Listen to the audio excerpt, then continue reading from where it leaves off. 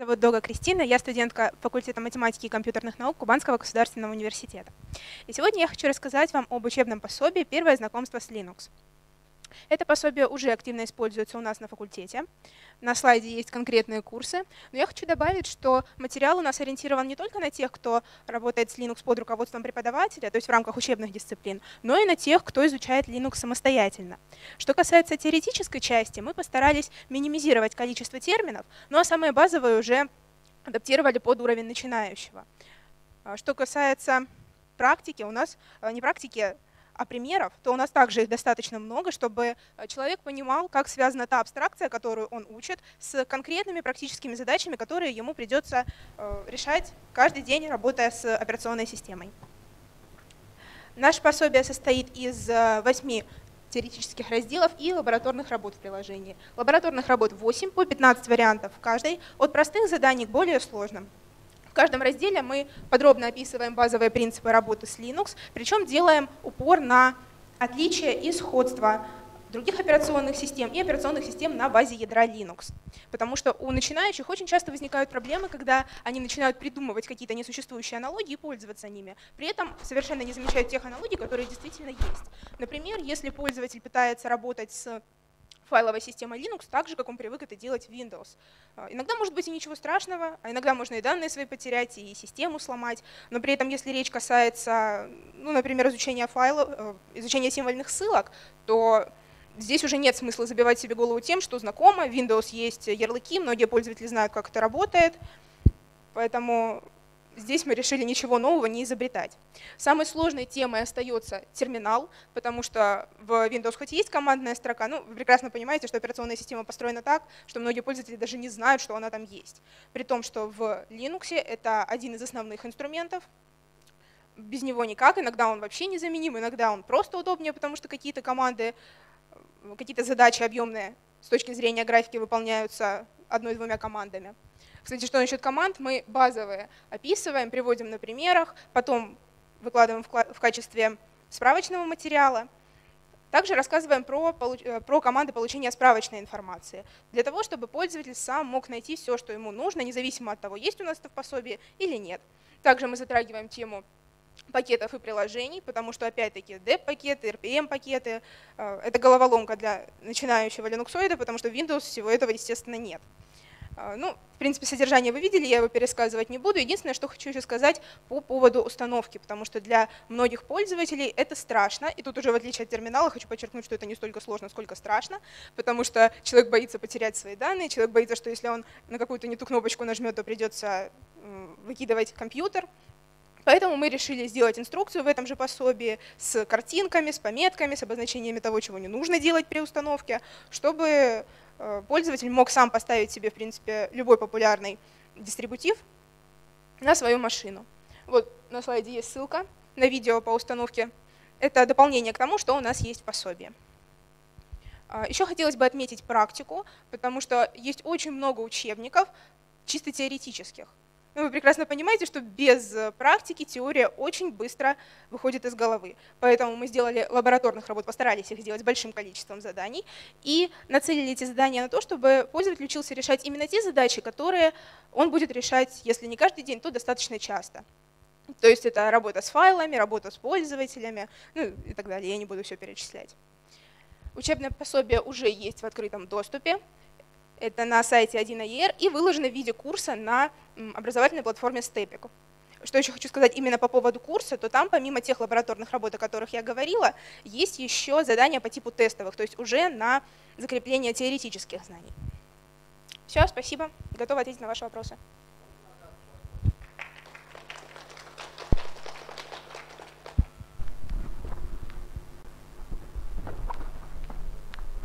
Кристина, скажите, пожалуйста, вот а, да. у нас на позапрошлой работе было такое понятие бизнес-пользователь. Бизнес-пользователем назывался человек, у которого Windows на десктопе. Вот скажите, ваш курс он рассчитан на кого? На бизнес-пользователей или же на технических людей, на системщиков, там, программистов? Наш курс э, рассчитан на начинающего пользователя. То есть даже если человек просто хочет пользоваться Linux там, ну, по каким-то своим причинам, но не знает, с чего начать, как вообще его учить, как вообще его устанавливать, то ну, он может пройти наш курс. Независимо от того, будет он программистом, чем бы он там ни занимался. Это просто вводная часть, которая поможет человеку войти в Linux. А, и еще один вопрос. Вот, наверное, ваши пользователи, когда решают эти задачи, там, а, управление группами, там все прочее, угу. они не могут обойтись без редактирования текстовых файликов. Да. А какой текстовый редактор вы рекомендуете начинающему пользователю? Nano. Ясно, спасибо.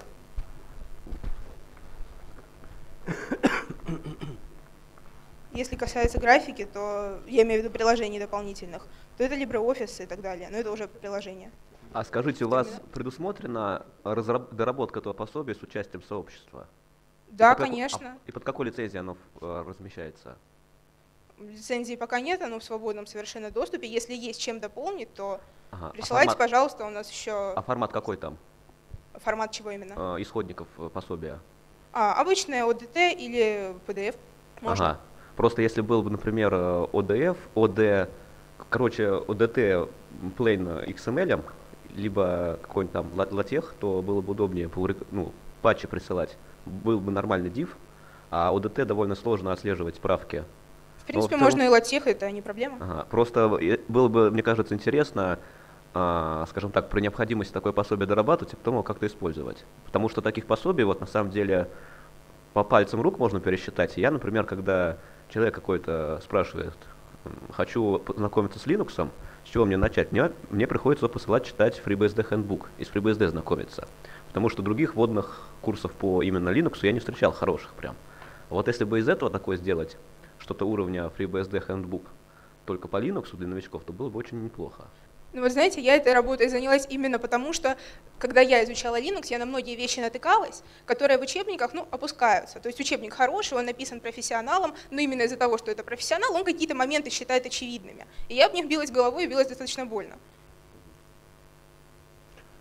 У вас э, на, вот на этой картинке, может быть, для кого-нибудь будет ссылки не совпадают. То, что дает QR-код и то, что написано внизу, разное.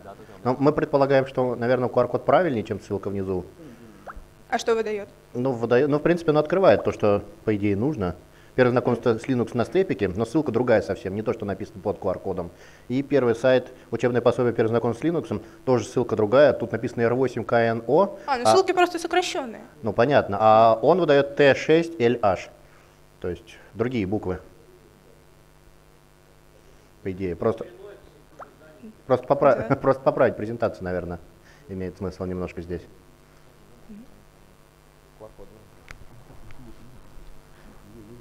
Кристин, пока не видно вопросов, у меня маленький комментарий. Э, когда-то читал в родной физмат-школе э, курс по Linux в 98-м, э, в 99-м и 2008-м. Вот. Во-первых, могу передать материалы, вдруг пригодятся. Во-вторых, мне кажется, что вот помимо объяснения, э, ну не знаю, там, как держать ножик в руках, там, как картошку чистить, да, то есть какие сугубо прикладные вещи, но по большому счету не университетского, а ПТУшного уровня. Вот. А есть смысл, ну, хотя бы затронуть, хотя бы одной строкой, вот какие-то принципиальные вещи, вот вроде того, что юниксовый подход – это э, инструментальный подход, и мне кажется, сейчас это особенно ну, актуально в своем роде, потому что э, э, по большому счету э, вот эти вот 30 лет нам впаривали, так, в кавычках, культуру потребления, да, а наша, она все-таки скорее культура созидания. Вот, в советское время там вот инженерная, так сказать, во многом, да. И юниксовый подход, он хорошо укладывается именно в это. То есть не когда вот тебе кнопка, да, заплати, так сказать, и лети, а э, вот тебе э, инструментарий для решения твоей задачи. И более того, вот мы как-то с Николаем Николаевичем тут э, общались на конференции, он мне, э, сказать, на такую э, штуку указал, что э, вот западный подход, он скорее индуктивный от, ну, это уже как, как я запомнил, да, то есть вот у меня есть что-то, и от этого я там отталкиваясь иду куда-то. А восточный подход вот наш, он скорее дедуктивный, то есть я строю э, шаги, э, отталкиваясь от задачи, от цели. Это вот. правильно. И мне кажется, это вот на такие моменты тоже стоит вот хотя бы буквально одной строкой обращать внимание. Пусть, пусть растет. Ну вот конкретно в курсе мы стараемся Мгм. просто дать сами инструменты, потому что у меня, ну, не буду озвучивать в каких курсах, но в университете э, есть такие курсы, которые преподаются по инструкции. То есть буквально, вот как вчера говорили, со скриншотами, совсем на свете. И получается так, что когда я получаю задачу другую, я не могу ее решить, потому что я привыкла, вот шаг влево, шаг вправо, расстрел на месте. Скриншоты не укладывается. Да. А здесь мы стараемся действительно дать набор инструментов, чтобы вот человек знал, у меня есть вот это, я могу решить задачу с помощью вот этих инструментов. Там будь то команды, будь то еще что-то. Да-да-да, принципе, я это это уловил, достаточно- потому и, так сказать, Да, то есть это обучение, оно намного эффективнее, нежели по шаблонам, потому что время-то все равно тратится. Хоть на что. И еще один момент. Вот у Виктора Вагнера есть статья, уже лет 20 ей, наверное, о вреде дружественных интерфейсов. Ее стоит отдельно почитать. А, И мой такой вот как бы вывод как переводчика и там, ну скажем так, юзера, вот, э, в том числе юниксового, это что э, тут э, с той же консолью с ней многое перекликается со освоением именно языка. То есть пока ты там вообще ничего не знаешь, это страшно. Пока ты знаешь пять слов, тебе это ничем не помогает примерно вообще. Когда ты вот первых там, не знаю, три десятка слов, там пару идем уже как- как-то где-то там освоил, дальше уже начинает одно к другому приклеиваться, потому что вот от этого вот, вот какого-то ядрышка, от него уже есть какая-то практическая польза. Ну вот у нас была такая, ну не сказать, что проблема, но вопрос, что вводить терминал нужно осторожно. Потому что, ну вот, грубо говоря, если это студент, да, первокурсник, пришел, он, сколько он себя помнит, он работал в Windows, он кликал там по окошечкам. Общался ему- жестами, так сказать. Да. Теперь тут ему дают терминал, дают. говорят, пиши. Что пиши? Как пиши? Я когда впервые услышала команду сюда bt install, повторите, я ничего не поняла. То есть мы в нашем курсе вводим все постепенно и аккуратно, чтобы человек не испугался. А это очень важно, потому что многие просто при изучении Linux, при его многообразии, хватаются за голову, идут обратно в Windows, где все по скриншотам. Мне кажется, здесь еще такой момент, что там четверть века назад, когда я брался за Linux, он был гораздо более обозримый и человекопостижимый и в плане кода, и в плане готовой системы. То есть у меня там этот Linux занимал, по-моему, на 40 мегабайтном корне стоял. Вот. Возможно, стоит э, в некотором смысле посмотреть на мелкие э, дистрибутивы, там, вплоть до того, что, не знаю, там, ну, BusyBox всякий, он, конечно, уже менее удобен, просто чисто на ощупь. Вот. Но именно вот сократить объем рассмотрения, то есть чтобы можно было просто вот провести по нему носу, ага, я это обошел. Ну, это уже, наверное, в кулуарах. Есть вопросы еще? Или предложения? А скажите, я не нашел по, по этим ссылкам контактов никаких, куда правки слать? Сейчас я включу первый слайд. Почта. Ага, спасибо. Так мне просто слайд я не долго грузится. Вот почта есть.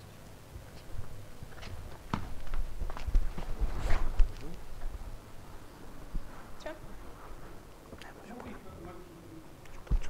В принципе, для такого от- отличного, между прочим, э, начинания уч- учебника стоило бы завести, раз вы уже линуксоиды, э, букзиллу к этому учебнику и действительно сделать тековским его. Хорошо. Спасибо.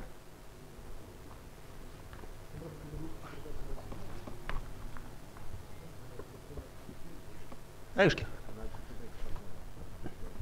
Спасибо. Сергей Турчин, Базальт СПО. Я просто поправить хотел. Дело в том, что файловая система NTFS поддерживает символические ссылки, поэтому э, сравнивание э, ярлыков и символических ссылок не совсем корректно. Что, что вы будете с этим делать, я не знаю. Смотрите, в дальнейшем это можно рассматривать как отличие, но если начинать со всех нюансов на начальном уровне, опять-таки у человека взорвется мозг. Но я имею в виду, это некорректно просто. На, для начального уровня, ну, я считаю, да, вы правы, что в общем это некорректно. Но для того, чтобы просто начать хоть как-то взаимодействовать с операционной системой, я Не, ну, считаю, я- что вот согласен, можно. да. Дальше понятно, что если мы это будем развивать, этот курс, там, возможно, это будет книга в будущем, в каких-то главах после можно объяснить, Я что просто вот хотел да. сказать, чтобы вы имели в виду просто. Ясно. А, Спасибо.